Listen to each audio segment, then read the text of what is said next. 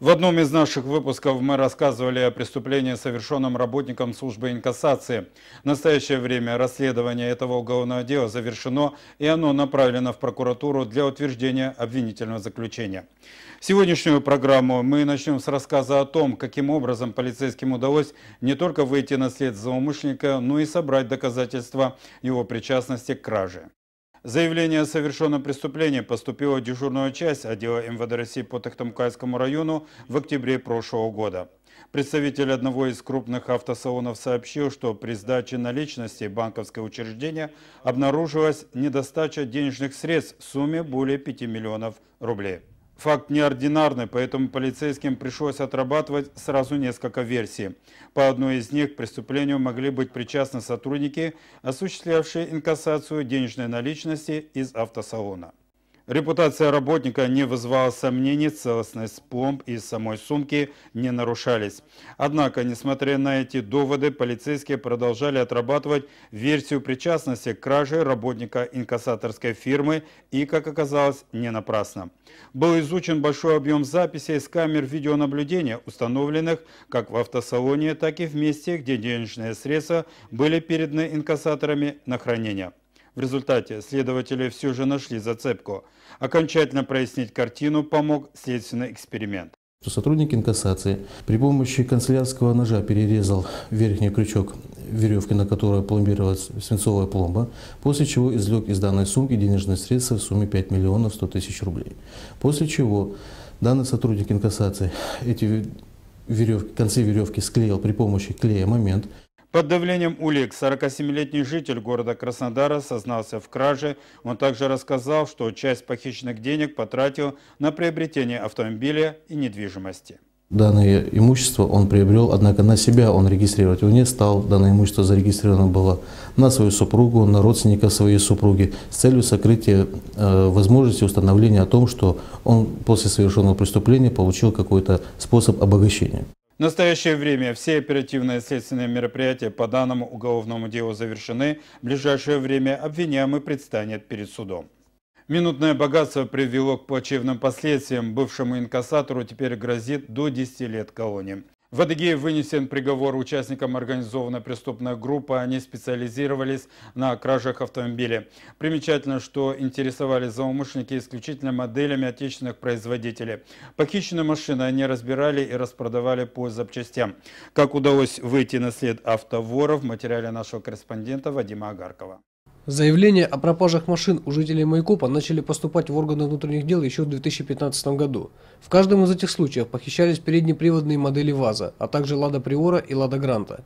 Проведя тщательный анализ зарегистрированных фактов, сыщики пришли к выводу, что все эти преступления – дело рук одних и тех же лиц. Данная версия подтверждалась в ходе следствия. Выяснилось, что практически все похищенные машины не были оснащены системой сигнализации. После первых удачных попыток похитители уже не стеснялись среди белого дня подойти к припаркованной в людном месте «Ладе» и начать скрывать замок путем подбора ключа. Далее запускался двигатель, и злоумышленник, как ни в чем не бывало, покидал место преступления. Несколько неожиданными оказались места, куда перегонялся украденный транспорт. Здесь подельники уже тщательно соблюдали все меры осторожности и работали преимущественно в ночное время. Похищенные автомобили они отгоняли в безопасные места для последующего разбора, а именно эти места э, наиболее удаленные от населенных пунктов. Данные места специально ими подбирали заранее, э, чтобы они не были замечены какими-либо гражданами. После чего в ночное время возвращались к автомобилю похищенному и приступали к его разбору. Всего в ходе следствия установлена причастность обвиняемых более чем к 10 таким эпизодам. После того, как ты разбирал автомобили, куда они девались, куда девались части? Распродавали, наверное. Ты распродавал? Нет. А кто? Ну, кое-какие получали запчасти. Распродавал. Общая сумма ущерба от этих противоправных деяний составила почти 3 миллиона рублей. Рассмотрев все собранные доказательства, суд приговорил организатора преступной группы, а также одного из его подельников, к 4,5 и 3,5 годам лишения свободы соответственно, с отбыванием в колонии общего режима. Третьему подсудимому назначено наказание в виде исправительных работ сроком на два года. Вопросы обеспечения безопасности при организации отдыха и оздоровления детей в период летних каникул всегда были и остаются в центре внимания сотрудников полиции АДГ. Одна из форм такой работы – это непосредственная проверка детских лагерей республики. На протяжении последних лет к этим мероприятиям активно привлекаются представители общественного совета при ведомстве. Несмотря на то, что летний сезон только начинается, общественники уже успели побывать в нескольких оздоровительных лагерях. О результатах этих проверок наш следующий материал материал. Еще до открытия лагерей полицейскими совместно с представителями их администрации были проведены все необходимые согласования. Разработан алгоритм взаимодействия с частными охранными предприятиями. За каждым оздоровительным учреждением закреплены сотрудники полиции, которые регулярно осуществляют их проверку. Как и в прошлые годы, для этих целей привлечены дополнительные силы. Они задействуются на обеспечение общественного порядка при проведении церемонии открытия и закрытия смен дискотек. На отдельном контроле недопущение правонарушения со стороны молодежи, проживающей в населенных пунктах вблизи оздоровительных учреждений. То есть в этой системе, когда мы говорим о безопасности детей, никаких сбоев быть не должно в отсутствии любых должностных лиц. Нет директора лагеря на месте, есть другое должностное лицо, которое должно все эти вопросы контролировать. Во всех лагерях республики уже состоялись заезды первых потоков. Теперь сотрудники полиции проверяют, как на практике реализуются мероприятия по обеспечению безопасности детей. К этим проверкам привлекаются не только значительное количество полицейских, но и представители общественности. Опыт таких проверок у членов общественного совета при республиканском МВД уже накоплен немалый. Они знают, на что обращать особое внимание и какие проблемы чаще всего возникают в этой сфере.